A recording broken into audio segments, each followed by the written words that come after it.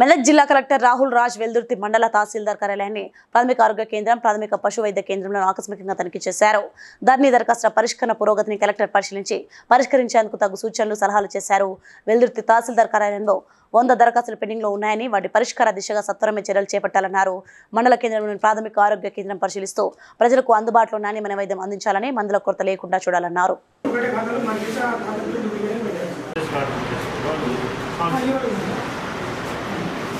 అందరికీ నమస్కారం. ఎల్దుర్తి మండల్ ఎంఆర్ ఆఫీస్కి ఈరోజు రావడం జరిగింది. సో మొత్తం మన రాష్ట్రంలో కూడా ఎస్పెషల్లీ మన జిల్లాలో కూడా ధరణి అప్లికేషన్స్ ఏవైతే పెండెన్సీ ఉన్నాయో సో అవన్నీ కూడా ఒక స్పెషల్ డ్రైవ్ మోడ్లో కూడా మనం చేయడం జరుగుతాం సుమారుగా ఒక లెవెన్ థౌజండ్ వరకు అప్లికేషన్స్ మనకు ఒక టూ వీక్స్ బిఫోర్ వరకు కూడా పెండెన్సీ ఉండే. So almost half of the applications అంతా కూడా మొత్తం మనం క్లియర్ చేయడం జరిగింది. సో దాంట్లో భాగంగా ఈరోజు ఎల్దుర్తి మండల్కి ఇక్కడ కూడా ఓన్లీ ఒక హండ్రెడ్ అప్లికేషన్స్ పెండింగ్ ఉన్నాయి ఈ మండల్కి సంబంధించి. ఇక్కడ చూస్తే ఏవో ఒక కాంప్లికేషన్స్తోని సో ఏవో ఒక పార్ట్ బి కేసెస్ ఇంతకుముందు పార్ట్ బి డిస్ప్యూట్ కేసెస్ అంటుండే సో ఆ పార్ట్ బి డిస్ప్యూట్ కేసెస్ ఇప్పుడు ప్రాపర్గా క్లియర్ చేయడం జరుగుతుంది.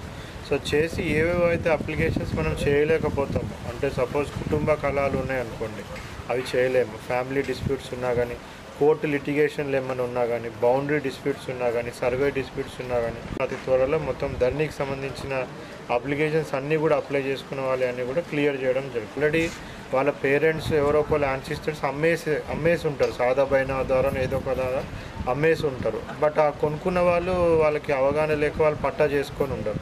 ఇప్పుడు వాళ్ళ పిల్లలు వచ్చేసేసి మాకు పట్టా చేయండి అనేసి అడుగుతారు. సో అటువంటి ఆ లోపల డిస్ప్యూట్స్ ఉన్నాయి. అటువంటి ఏవి కూడా మనం చేయలేము. చేయలేకపోతే కూడా వాళ్ళకి ఎక్కడ జరుగు వెళ్తే న్యాయం జరుగుతుంది అన్నది కూడా వాళ్ళకి ప్రాపర్ ఎండార్స్మెంట్ కూడా వాళ్ళకి ఇవ్వడం జరుగుతుంది.